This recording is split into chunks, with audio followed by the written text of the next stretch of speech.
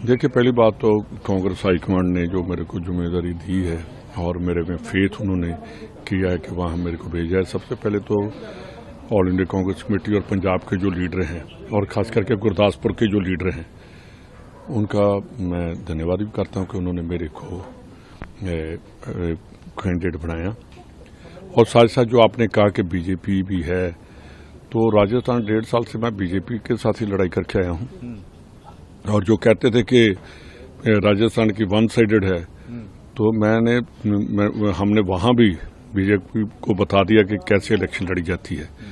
तो जिस हिसाब से प्राइम मिनिस्टर साहब अब पार्लियामेंट की इलेक्शन में एक एक कंस्टिट्यूंसी में तीन तीन बार गए हैं और इनके पाँच पाँच लीडर एक एक कंस्टिट्यूंसी में गए हैं।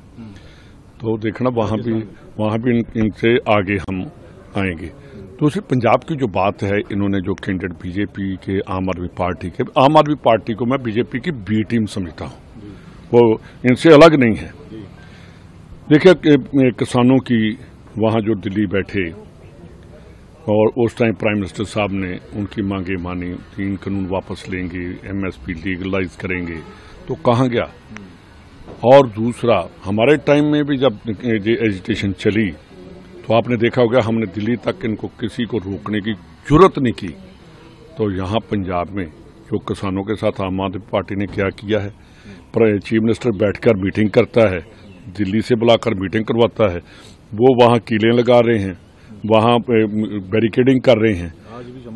तो देखिए मैं ये कह रहा हूँ कि चीफ मिनिस्टर का रोल और उसका बीजेपी का दोनों ही मिले हुए इसलिए मैंने कहा कि जो बी टीम है उनकी ये लोग नहीं भूलेंगे। दूसरी बात हम बॉर्डर स्टेट हैं। 250 किलोमीटर के लगभग में पंजाब का बॉर्डर है।